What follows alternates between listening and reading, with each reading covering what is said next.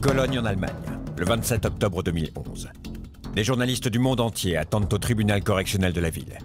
Aujourd'hui, le juge Wilhelm Kremer doit rendre son verdict dans une spectaculaire affaire de faux tableaux.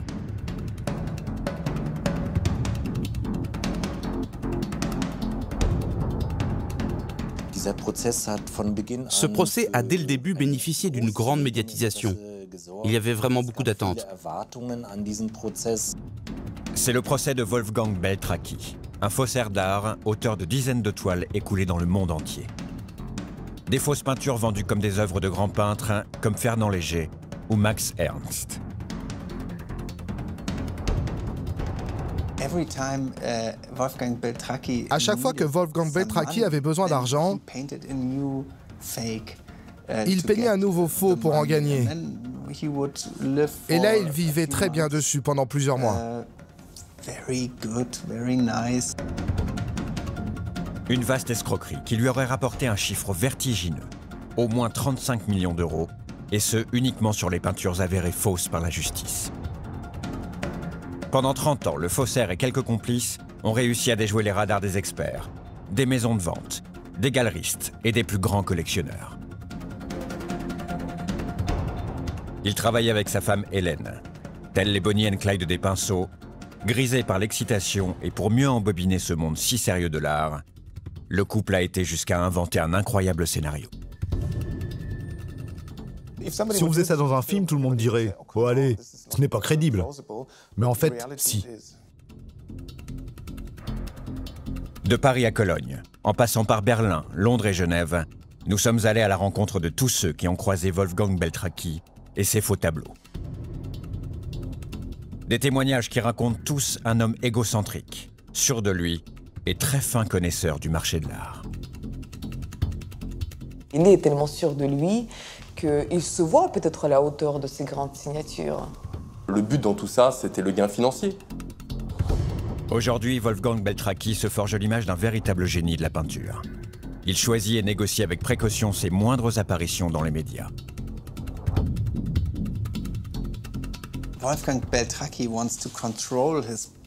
Wolfgang Beltraki veut contrôler sa légende. Uh, sa biographie. Uh, Il ne veut pas qu'on écrive sur lui librement. Uh, Je crois qu'il veut cacher ses histoires. Voici la véritable histoire de Wolfgang Beltraki, le prince des faussaires.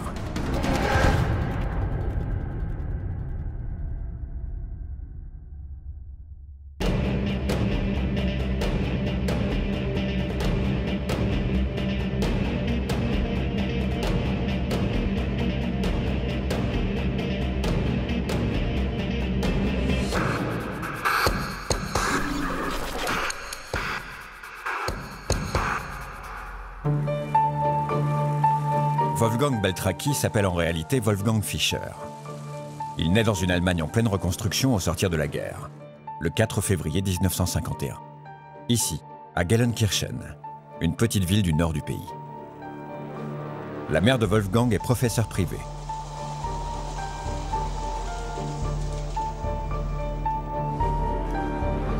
Son père, Wilhelm Fischer, exerce un métier singulier qui va marquer profondément le jeune Wolfgang. Il est restaurateur de tableaux dans les églises de la région. Wolfgang Beltraki a dit que dès son enfance, il a commencé à dessiner et à peindre, parce qu'il était entouré de gens qui travaillaient là-dedans. À l'exception de son grand frère, tout le monde peignait dans la famille. Il disait que c'était naturel, comme de se brosser les dents. Tous les jours, il peignait.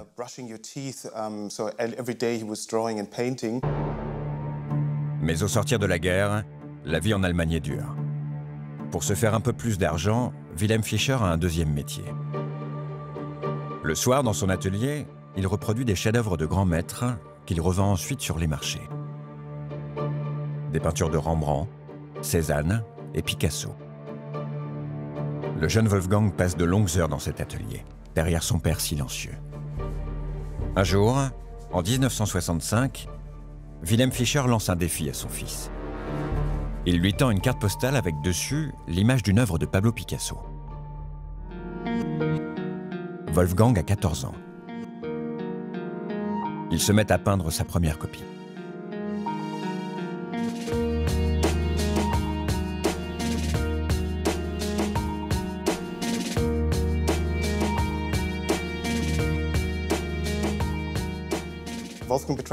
Wolfgang Beltraki raconte qu'il l'a tellement bien copié qu'il a surpris son père.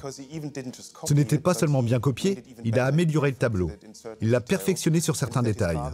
Et son père était complètement halluciné quand il a vu ça, presque même jaloux. Donc il raconte, mais ce n'est peut-être qu'une légende, que son père a arrêté de peindre pendant presque deux ans, car il était vexé que son fils soit meilleur que lui.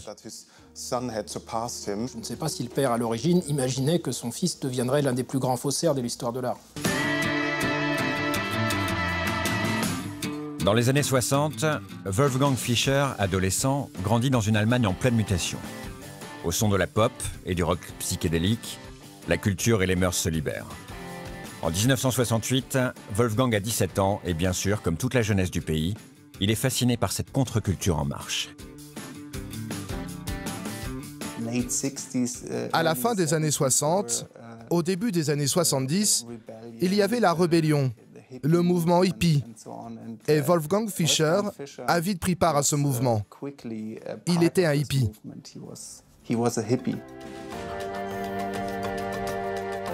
Après quelques années dans une école d'art, Wolfgang Fischer s'ennuie.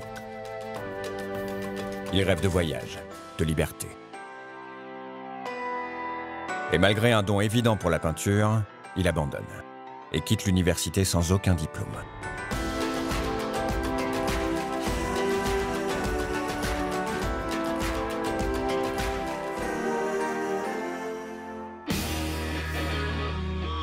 Il se laisse pousser les cheveux et sa petite amie de l'époque lui offre une Harley Davidson. La même que Peter fonda dans Easy Rider. Film emblématique de la génération hippie. Débute alors pour Wolfgang Fischer une décennie de déambulation tripée à travers l'Europe. Marginal jusqu'au bout, il consomme drogue sur drogue.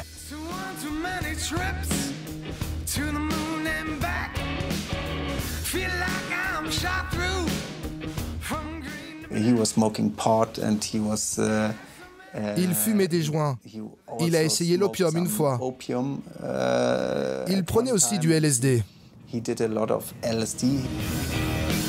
Durant toutes les années 70, Wolfgang Fischer pose son baluchon à Berlin, Paris, puis Londres, Amsterdam ou Majorque. Il ne travaille jamais vraiment, mais doit faire un peu d'argent pour ses voyages. C'est à ce moment qu'il commence à peindre des copies de maîtres, comme le faisait son père. Des copies vendues pour quelques centaines de marques sur les marchés opus. Il peignait sur le sol dans la rue pour gagner de l'argent. Il dit même qu'il gagnait plus que son père, parfois 100 marques par jour, alors que son père gagnait 900 marques par mois. Donc il raconte qu'il était très fier de surpasser son père. Wolfgang Fischer a 27 ans. Il lui arrive parfois de s'atteler à ses propres créations sans copier d'autres artistes. En 1978, trois de ses toiles sont exposées dans un musée à Munich en Allemagne.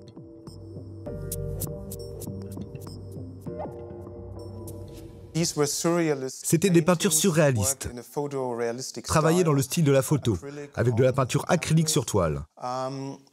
Et elles ont dû avoir un petit succès parce qu'elles ont été exposées à la Haus der Kunst en 1978.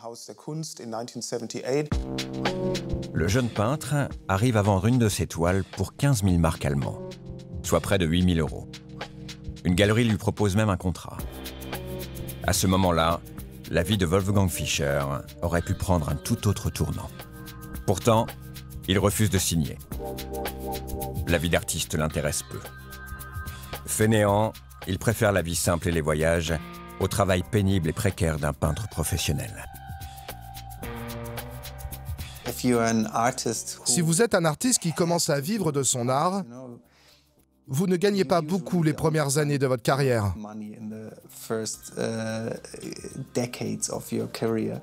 Il ne faut vivre que pour l'art.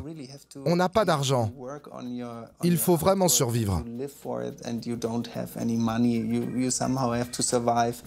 Il n'était pas intéressé dans le fait de travailler son art. Il voulait vite gagner beaucoup d'argent, avoir un bon niveau de vie. Donc il s'est vite rendu compte qu'il valait mieux faire des faux plutôt que de créer ses propres œuvres. Wolfgang Fischer a maintenant la trentaine. il pose ses valises à Düsseldorf au début des années 80. C'est ici qu'il va réellement devenir faussaire. Fatigué de vivre de peu, il veut gagner plus d'argent. Il commence à peindre des tableaux plus connus du milieu de l'art pour les revendre dans des maisons de vente spécialisées. Des œuvres dont le style est choisi avec précaution.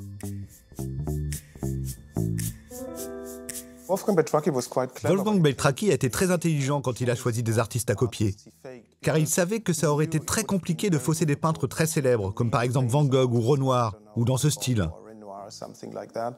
Donc il a été très malin parce qu'il a choisi des artistes de second rang, qui sont quand même importants, mais moins célèbres que les premiers. Thomas Edou a travaillé chez Christie's, l'une des plus grandes maisons de vente aux enchères au monde. Il était directeur des collections modernes et impressionnistes.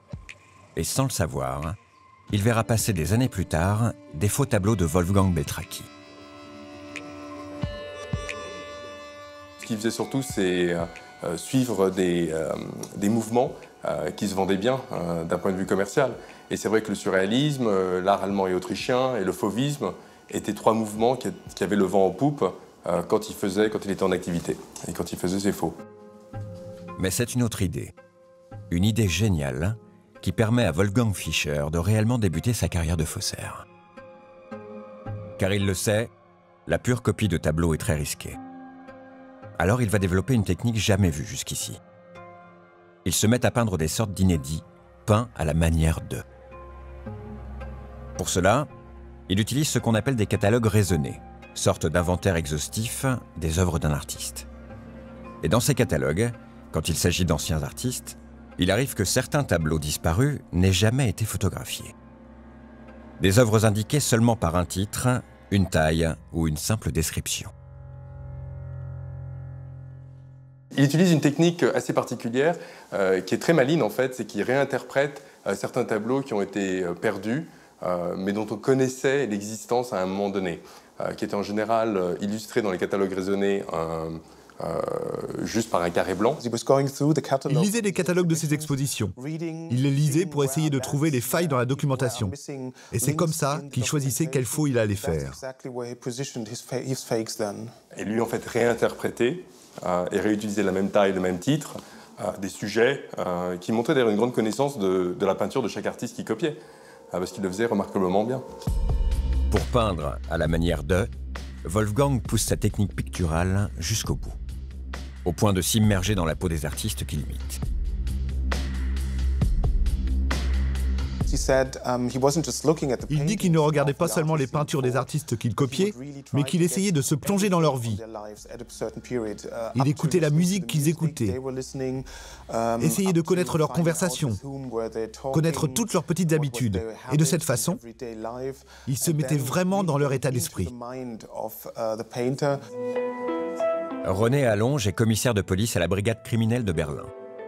C'est lui qui sera plus tard le responsable de l'arrestation de Wolfgang Fischer.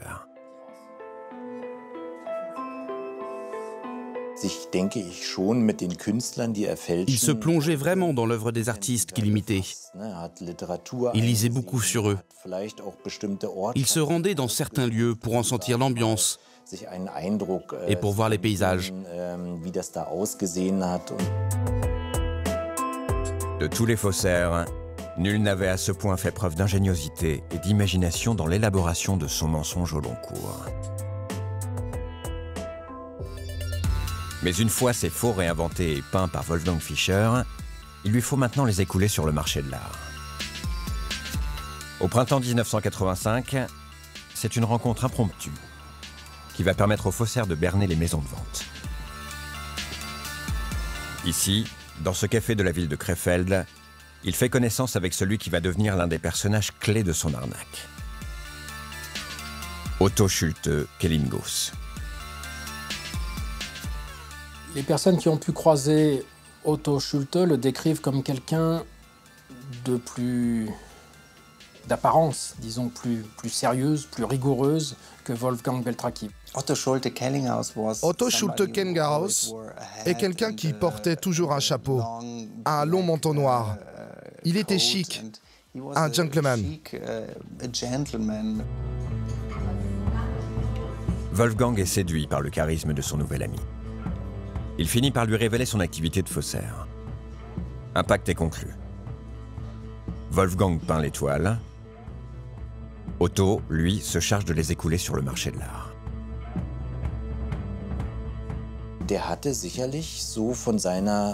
Il avait certainement, de par sa présence, sa prestance, mais aussi sa culture, la possibilité de parler à hauteur égale avec les experts. Il n'avait pas de mal à leur faire valider les expertises. Il faut dire qu'il avait énormément de contacts. C'était loin d'être un inconnu dans le milieu de l'art.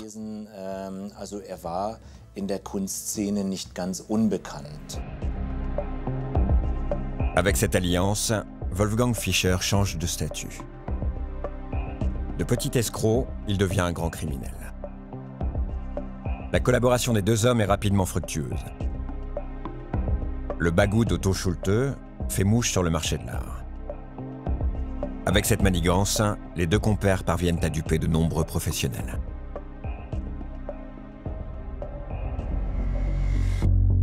L'un des musts du duo, des faux tableaux de l'expressionniste allemand Johannes Moltzan. Un artiste qui a fui le régime nazi en 1938, laissant derrière lui de nombreuses œuvres.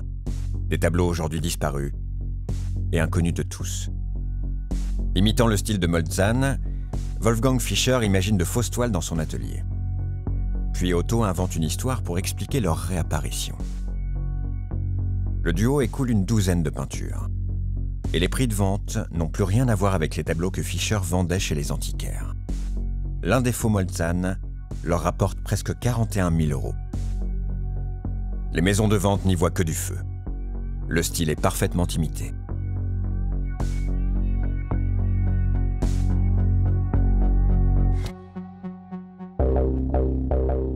Coup de pinceau, finesse du trait et quantité de peinture, le faussaire fait preuve d'une grande précision.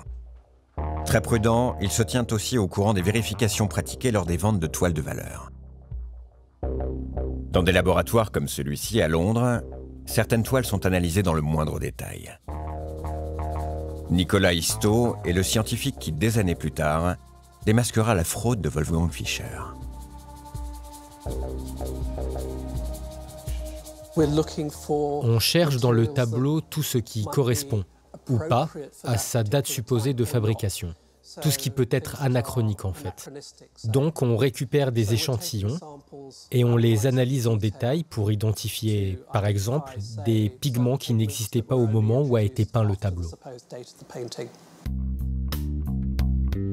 Rayon X, datation au carbone, analyse du bois, de la toile et des pigments tout est scruté dans le moindre détail.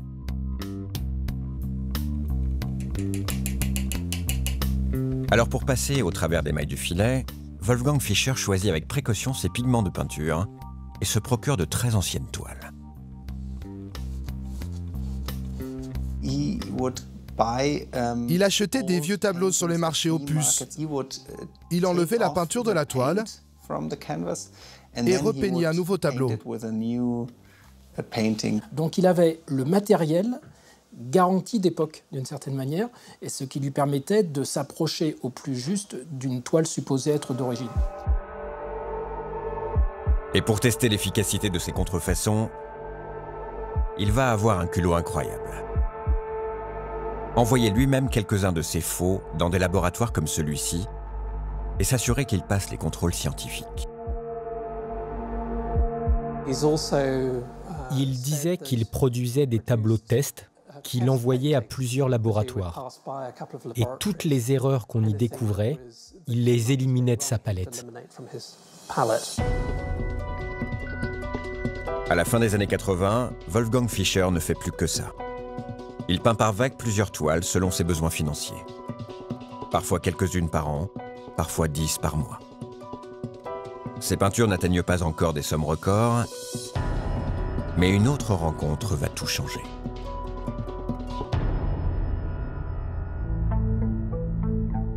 En 1992, Wolfgang Fischer habite autour de Cologne. Il rencontre une jeune femme de 34 ans. Hélène Beltraki. C'est une blonde aux yeux bleus charmante et passionnée par l'art.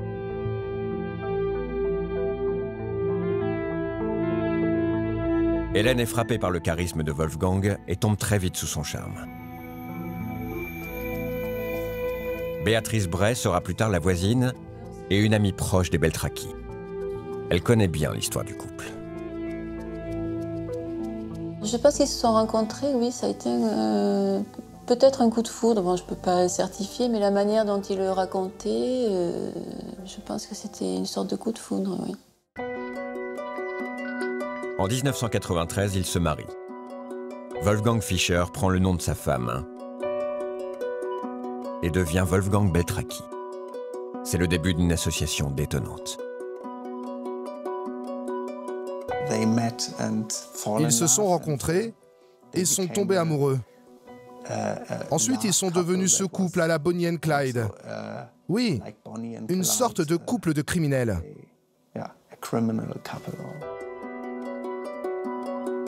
Dès les premiers jours, Hélène perce le secret de son mari. Sur les murs de la maison, elle remarque de très nombreuses peintures qui datent du début du XXe siècle.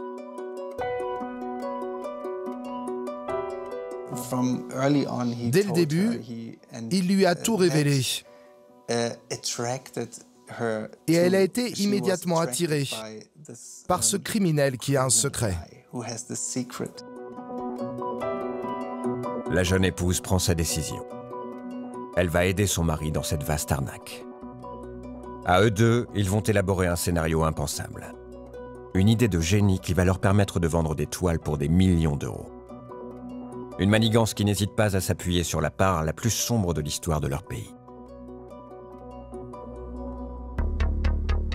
Dans les années 30 en Allemagne, sous le régime nazi, de très nombreuses œuvres d'art ont disparu.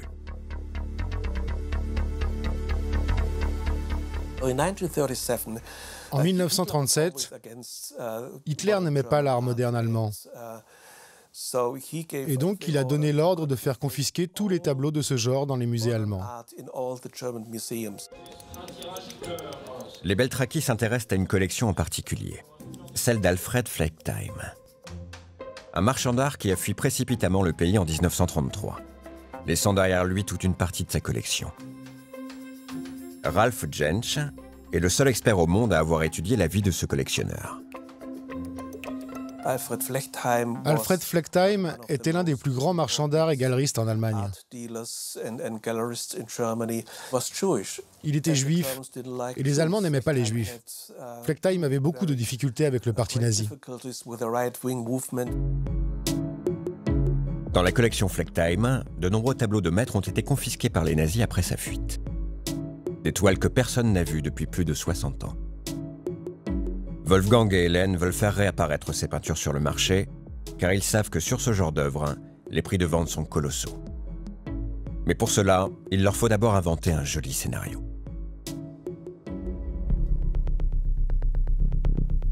Ils ont alors l'idée toute simple d'utiliser le grand-père d'Hélène, Werner Jägers. Adolescent, celui-ci habitait juste à côté du marchand d'art, Alfred Fleckheim. Les deux hommes ne se sont jamais rencontrés, mais les Beltraki imaginent une fiction où le collectionneur aurait bradé au grand-père d'Hélène de nombreuses toiles pour une bouchée de pain. Et après, M. Jäger les aurait cachées, euh, parce qu'évidemment c'était considéré pendant la guerre et sous le régime nazi comme des œuvres dégénérées. Et donc, par la force des choses, elles ne sont réapparues que plus tard, que beaucoup, beaucoup plus tard par ses descendants, par ses petits-enfants, euh, qui ont finalement euh, décidé de les vendre un par un. C'était un peu ça l'histoire. Le scénario est parfait. Mais pour le rendre crédible, il manque un détail, une minuscule preuve. À partir d'une photo d'Alfred Fleckheim, Wolfgang Beltraki fabrique cette étiquette qu'il colle derrière ses faux tableaux. Il trempait les étiquettes dans du thé. Il les vieillissait artificiellement. Difficile à croire, mais cette simple étiquette suffit alors à convaincre les experts. Et quand l'un d'entre eux se montre suspicieux, le couple, d'une audace incroyable, n'hésite pas à fabriquer des preuves totalement farfelues. En 1995, alors que le couple cherche à vendre ce faux tableau Girl with Swan d'Heinrich Kampe donc, une maison de vente leur demande des preuves de la véracité de leur histoire. Hélène Beltraki présente alors cette vieille photo jaunie au bord d'Antley. On y voit une femme qu'elle présente comme sa grand-mère, Joséphine Jägers, assise devant des tableaux de la soi-disant collection retrouvée. En réalité, le cliché est complètement truqué.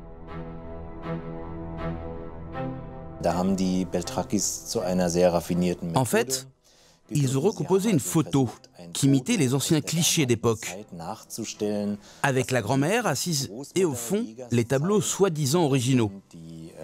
Mais en réalité, il s'agissait d'Hélène, assise sur cette chaise, habillée de vêtements d'époque.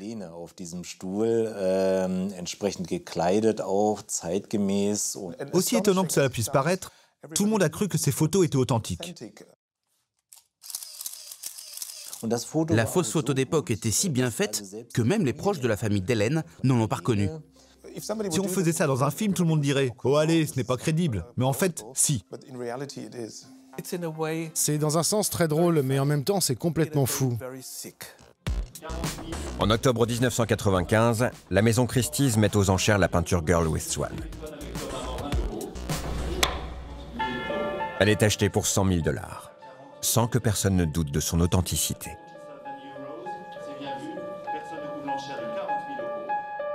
On n'y voit que du feu. Oui, oui, on, s'habitue au nom euh, Werner Jäger euh, et ça devient même une provenance euh, assez recherchée parce qu'on sait que c'est une provenance assez exceptionnelle et que ce sont des tableaux qui ont eu une histoire incroyable et qui ont dû être cachés pendant très longtemps. C'est fou, mais ça montre à quel point on peut croire à quelque chose si on le désire.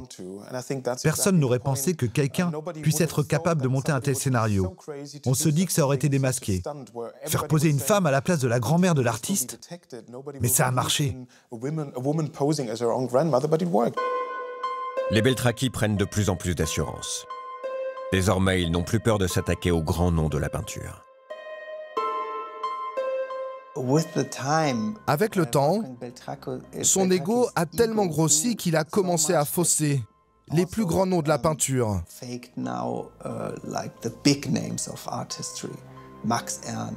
Max Ernst, Fernand Léger, Max Penstein. Il voulait gagner des millions, pas seulement quelques milliers d'euros. À partir de 1995, toutes les maisons d'enchères prestigieuses comme Sotheby's, Christie's, Drouot ou encore Lampets en Allemagne vendent sans le savoir de nombreux faux tableaux de la soi-disant collection Flecktime. La réapparition de certaines toiles provoque même une certaine euphorie sur le marché. C'est un vrai trésor que l'on retrouve et chacun veut avoir un rôle à jouer dans cette découverte. Vous savez, on est toujours passionné parce que quand quelque chose apparaît euh, qu'on n'a pas vu, ça fait donc de, 2000, de 1914 au 2006, vous voyez, on s'est dit un chef-d'œuvre qui apparaît. On est un peu pris aussi par les émotions. On n'est pas tout à fait à une vision. On est un peu euh, naïf. C'est une erreur humaine euh, basée aussi sur un, un, système qui est de euh, de tellement vouloir croire à l'histoire, parce que l'histoire était merveilleuse. Euh, et euh, quand on pense avoir touché le gros lot, trouvé le Saint Graal ou une vieille collection qui n'a jamais été découverte, c'est un peu le rêve de chaque marchand. Donc c'est là où Beltraki a été très fort, c'est qu'il a su quel bouton il fallait pousser dans le marché de l'art, sur tous les intervenants du marché de l'art, pour obtenir gain de cause et pour donner une certaine crédibilité à ses œuvres. Certains historiens de l'art, engagés pour expertiser ces faux tableaux, sont aujourd'hui montrés du doigt pour leur manque de vigilance. Un expert est une figure importante, car il est placé à la fin de la chaîne et peut dire si une peinture est authentique ou pas. C'est le cas de Werner Spies, un grand spécialiste de Max Ernst et ancien directeur du Musée national d'art moderne à Paris. Werner Spitz est le, est considéré comme la référence absolue en ce qui concerne euh, l'œuvre de Max Ernst. C'est l'auteur du catalogue raisonné, c'est quelqu'un vraiment qui fait référence. Et sérieusement, c'est une sommité du monde de, l'art. En tout, Werner Spies authentifie sept œuvres de Max Ernst. En réalité, des faux imités par Wolfgang Beltraki. Il les ajoute au catalogue raisonné et délivre des certificats d'authenticité. Au total, l'historien aurait touché la somme de 400 000 euros pour son expertise. Il a perçu de l'argent sur ces opérations, c'est-à-dire que Beltraki lui-même lui a donné une commission sur la première vente de chaque tableau. Euh, là, ça pose quand même problème. Il ne devrait pas y avoir qu'un seul expert qui puisse dire si c'est un vrai ou un faux, en regardant juste d'un coup d'œil un tableau. Il devrait y avoir des comités d'experts qui débattent sur l'authenticité d'une œuvre. Malgré les précautions prises, en 1998, Wolfgang et Hélène Beltraki passent à deux doigts de se faire démasquer. Un collectionneur a des doutes sur l'authenticité d'une toile et la police allemande ouvre une enquête. Wolfgang Beltraki a quitté l'Allemagne quand il a entendu que la police le recherchait. Les Beltraki vendent subitement leur maison et prennent la route à bord d'un camping-car. Pour René Allonge, le commissaire allemand responsable de l'enquête, il n'y a pas de doute. Wolfgang a voulu fuir le pays. Er äh, Quand nous avons voulu l'interroger, ähm, il a sans doute pris la fuite en France même si sa version est bien différente. Moi, je suis convaincu qu'il a senti qu'on était sur sa piste. Mais nous n'avons pas pu le trouver en France. Les derniers témoins à l'avoir vu ont déclaré qu'il partait pour un tour du monde. Il a beaucoup voyagé et a finalement trouvé ce petit coin de paradis dans le sud de la France, à Metz, où beaucoup d'artistes ont vécu, beaucoup qu'il admire ou qu'il a faussé. Il a trouvé un magnifique domaine qu'il a acheté avec ses économies, tiré des faux tableaux. C'est ici, à Metz, une petite ville de l'Hérault, que Wolfgang, Hélène et leurs deux enfants posent finalement leurs valises. Ils se font oublier de la police allemande qui finit par clore son enquête. En 1999, le couple Beltraki achète cette vieille maison de maître et la fait retaper. Dans la région, on se pose des questions sur leur fortune. Comment les Beltraki gagnent-ils autant d'argent?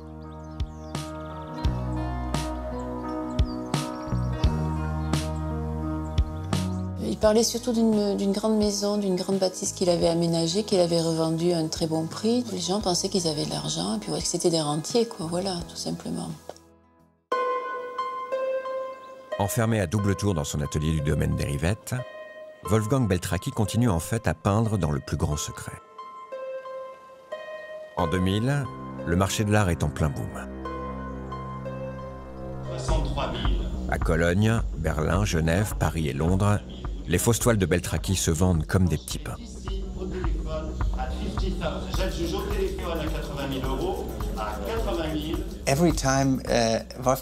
À chaque fois que Wolfgang Beltraki avait besoin d'argent, il peignait un nouveau faux pour se refaire. Et là, il vivait très bien pendant plusieurs mois.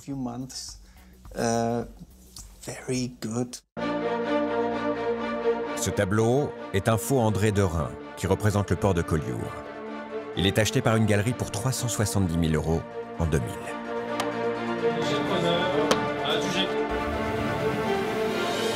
Celui-ci, au style plus abstrait, est attribué au peintre allemand Max Ernst.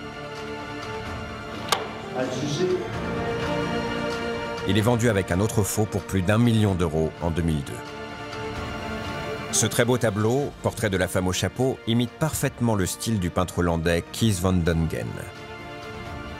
et est vendu en 2007 pour 1,5 million d'euros. Dans les maisons de vente, les enchères s'envolent.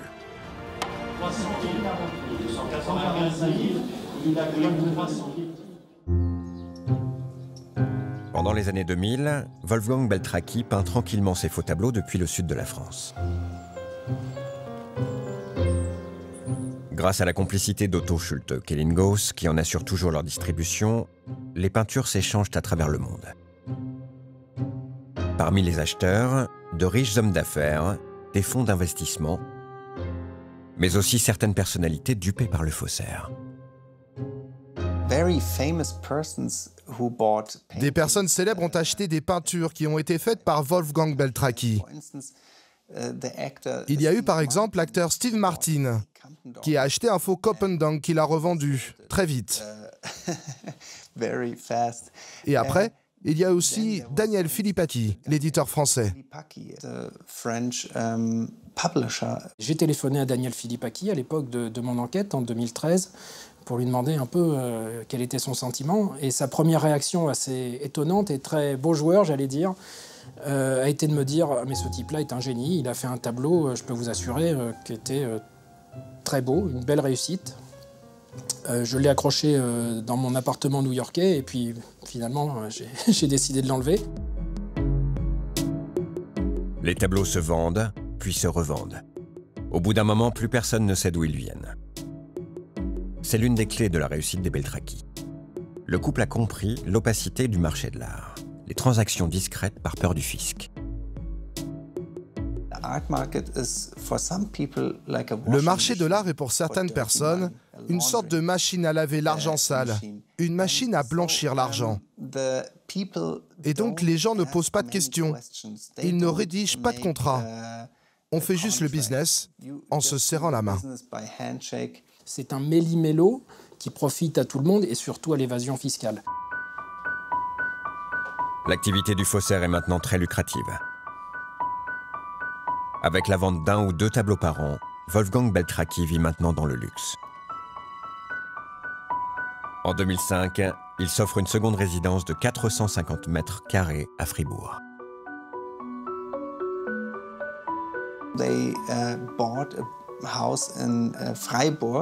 Ils ont acheté une maison à Fribourg, une très belle maison, uh, sur une colline, avec vue sur toute la ville, dans un des quartiers les plus chers. Ils ont tout fait reconstruire pour des centaines de milliers d'euros. Ils ont fait construire par exemple une magnifique piscine. Wolfgang Beltraki a désormais un train de vie bien éloigné de ses premiers idéaux hippies.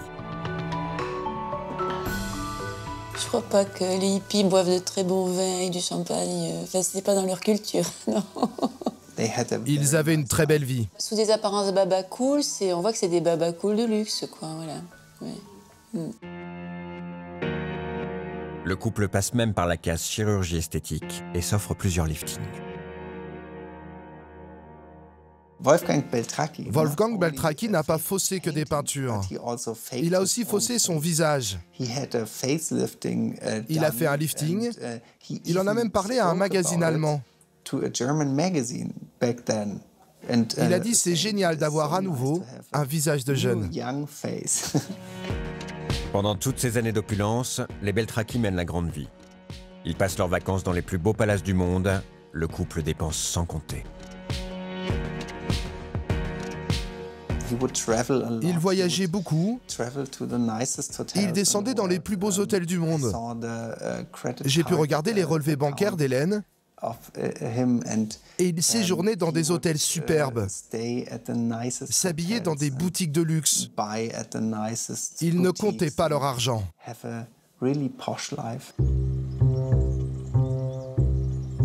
Peut-être grisé par tout ce luxe, et malgré ses techniques de fraude parfaitement rodées, Wolfgang Beltraki va alors commettre une erreur fatale. Il ne pouvait plus s'arrêter. Sa cupidité était trop grande. Et il pensait qu'il était invincible. Le 29 novembre 2006, dans la maison de vente Lampertz à Cologne, une fausse toile signée Heinrich Kampendonk est vendue. Son nom, tableau rouge avec des chevaux. La peinture est adjugée 2,8 millions d'euros. Une somme record pour un Kampendonk mais en réalité il s'agit d'un faux de la main de Wolfgang Beltraki. Sofia Komarova est directrice d'une galerie à Genève. C'est elle qui va déclencher la chute du plus grand faussaire de l'histoire.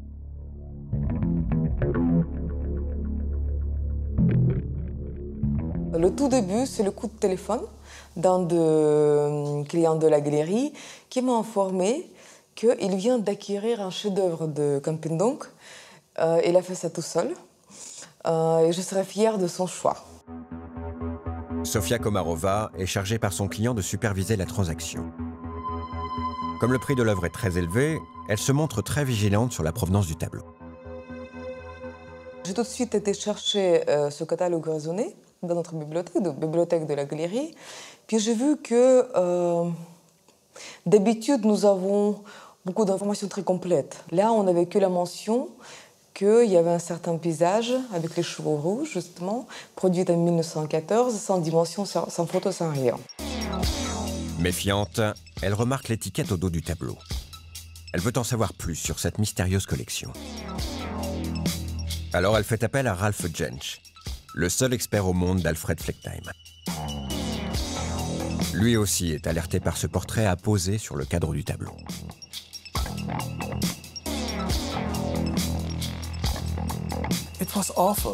C'était horrible. Je veux dire, Flecktime n'aurait jamais autorisé qu'on le reproduise de cette façon stupide. Il avait l'air d'un idiot. C'était un portrait terrible. L'idée géniale qui a permis aux Beltraki de monter leur stupéfiante arnaque se retourne maintenant contre eux. Cette étiquette rend tout le monde méfiant. Sofia Komarova fait livrer le tableau à Londres dans le laboratoire de Nicolas Istou. Quand il se penche sur la toile, il n'imagine pas l'ampleur du réseau qu'il va aider à démanteler.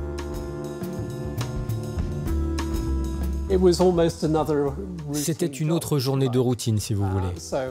Le tableau est arrivé avec certaines questions auxquelles il fallait que je réponde. Il n'y avait rien de particulier à signaler.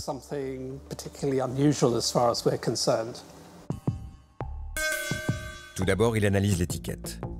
Les résultats tombent vite. La colle utilisée est trop récente, elle ne correspond pas à la date du tableau. Et surtout, la présence de traces de café dans le papier est très suspecte. Tout semble indiquer qu'on a voulu vieillir artificiellement l'étiquette.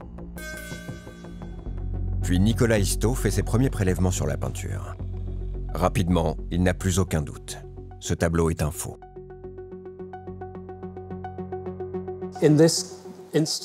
Pour ce cas, l'un des pigments que nous avons identifié s'appelle le blanc de titane. Et c'est un pigment qui a surtout été introduit au XXe siècle et qu'on ne trouve sur les peintures qu'à partir de 1950. La rumeur d'une série de fausses toiles se répand comme une traînée de poudre. Après la découverte de ce faux donc, tout ce qui vient de la désormais sulfureuse collection Flecktime est montré du doigt.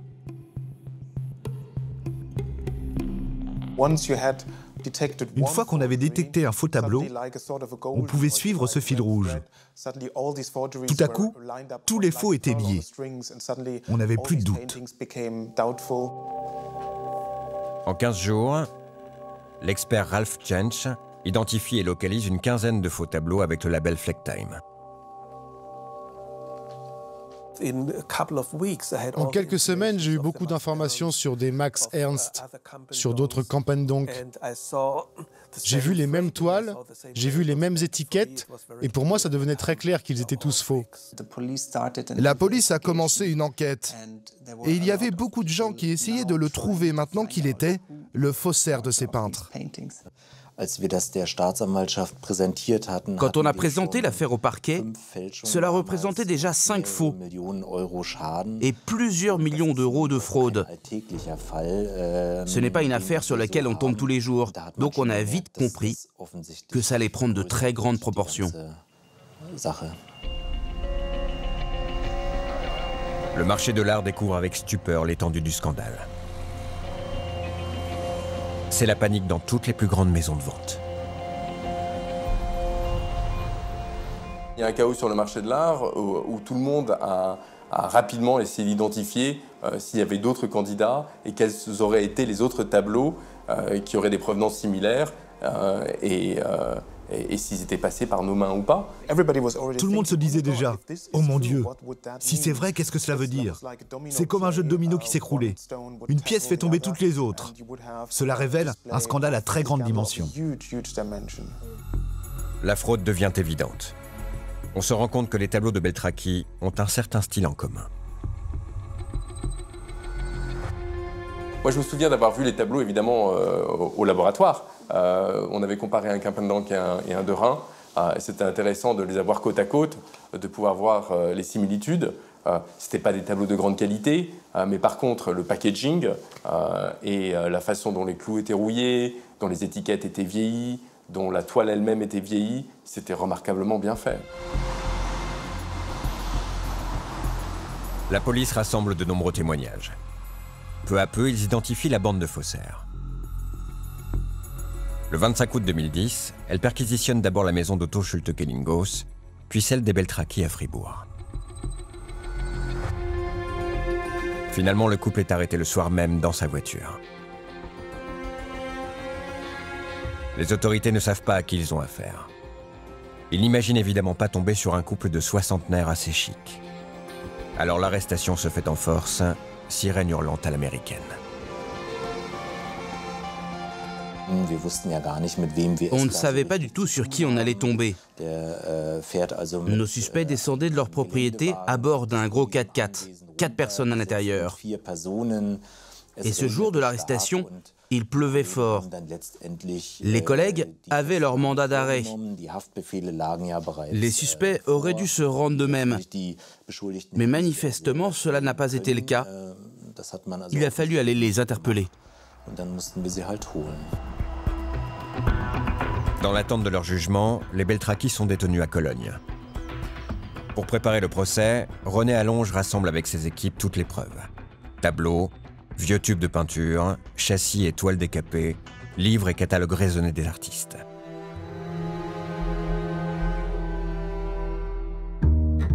Le 1er septembre 2011, le procès de l'affaire Beltraki commence à la Cour de justice de Cologne. Ce procès a dès le début bénéficié d'une grande médiatisation. Il y avait beaucoup d'attentes. Le public éprouve en général pour ce type de personnage une forme de sympathie, euh, parce que euh, d'abord il y a du talent quelque part, même si c'est un talent de, faussaire, et puis d'autre part il a, il a su profiter euh, de la naïveté, de la cupidité ou de ce que vous voulez de gens qui ont en général beaucoup d'argent. Tel Bonnie et Clyde, les deux accusés s'amusent avec les caméras. Les journalistes se laissent presque séduire par ce couple de branchés aux cheveux longs, sorte de Robin des Bois qui volent aux riches. Le premier jour, ils étaient tout sourire. Ils avaient l'air d'apprécier le bain de foule. Ils devenaient soudainement célèbres. Le procès qui est prévu en 2011 s'annonce à la fois long, complexe et d'une richesse incroyable. Il faut dire que le dossier est énorme. Composé de 8000 pages, près de 200 témoins sont attendus à la barre.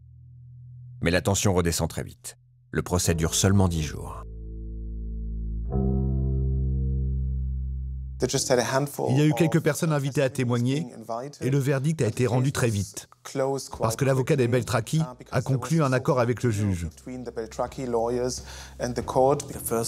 Le premier jour du procès, il a avoué « Oui, j'ai peint 14 tableaux ». Le juge se satisfait de cet aveu et le verdict tombe. Wolfgang et Hélène doivent rembourser la somme colossale de 35 millions d'euros à leurs victimes. Ils sont respectivement condamnés à 6 et 4 ans de prison. Otto, lui, écope de 5 ans derrière les barreaux. Comme c'est souvent le cas en Allemagne, les coupables bénéficient d'une incarcération partielle. Ils devaient rester en prison la nuit. Mais la journée, ils pouvaient rentrer chez eux et travailler.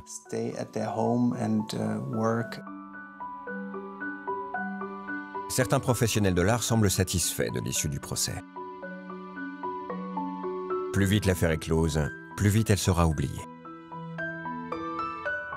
En fait, personne ne souhaite révéler au grand jour ce qu'il se passe dans les coulisses du marché de l'art. Il y a des douzaines de personnes sur le marché de l'art qui ont été très satisfaites que le procès s'arrête aussi rapidement. le marché de l'art ne s'est jamais vraiment senti confortable avec les faux et les faussaires. Il n'y a jamais eu une communication très ouverte à ce sujet. Je pense que tout le monde ne, ne, souhaite pas forcément être ridiculisé ou être identifié comme celui ou celle qui se sont fait berner par Beltraki. Wolfgang et Hélène Beltraki sont sortis de prison en janvier 2015. Ils vivent maintenant dans cette maison d'un quartier résidentiel de Cologne. La justice a saisi un million d'euros sur leur compte suisse. Leur maison de Fribourg a été revendue et le domaine des rivettes hypothéqué. Pourtant, pour Tobias Tim, qui a suivi de près cette affaire, la résolution du scandale Beltraki ne serait pas très claire. Wolfgang Beltraki a gagné des millions avec ses faux tableaux. Où est passé tout cet argent? Ce n'est pas clair jusqu'à aujourd'hui. À ce jour, plus d'une soixantaine de peintures ont été découvertes et identifiées comme des faux de Wolfgang Beltraki. Des imitations pour lesquelles le faussaire n'a toujours pas été poursuivi. Pire, il affirme lui-même avoir peint entre 2 et 300 faux tableaux au cours de sa carrière. Depuis sa sortie de prison, il a arrêté les copies et a décidé de capitaliser sur son incroyable histoire. Désormais célèbre, il enchaîne les plateaux de télévision pour se construire une légende dorée. Les Beltraki vendent leur histoire. Ils font le tour des talk shows en Allemagne. Ils font des films et des documentaires sur leur vie. Finalement, il est exposé à sa manière. Il peut enfin dire au monde quel génie il est. Mais quand il s'agit d'aller un peu plus loin, de raconter sa vraie histoire, au-delà des apparences, Wolfgang Beltraki refuse toute communication. Nous avons sonné chez lui et à son atelier à Cologne. Personne n'a répondu. Après plusieurs demandes d'interview de notre part, le couple, leurs avocats et même l'éditeur de son livre ont refusé de nous aider. Il vous est interdit d'utiliser ou de montrer toute photographie ou élément appartenant à notre client. Ici, dans son atelier, l'artiste se consacre désormais à ses propres tableaux, qu'il vend jusqu'à 12 000 dollars. Des œuvres dont la réception critique est pour le moins mitigée.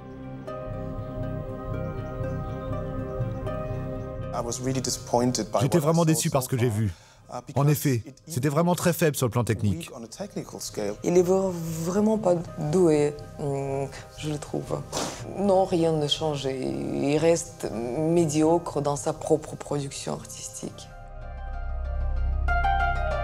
Peut-être un peu pour cela, Wolfgang Beltraki a refusé que l'on montre ses tableaux dans notre documentaire. Aujourd'hui, il négocie ses apparitions et construit sa légende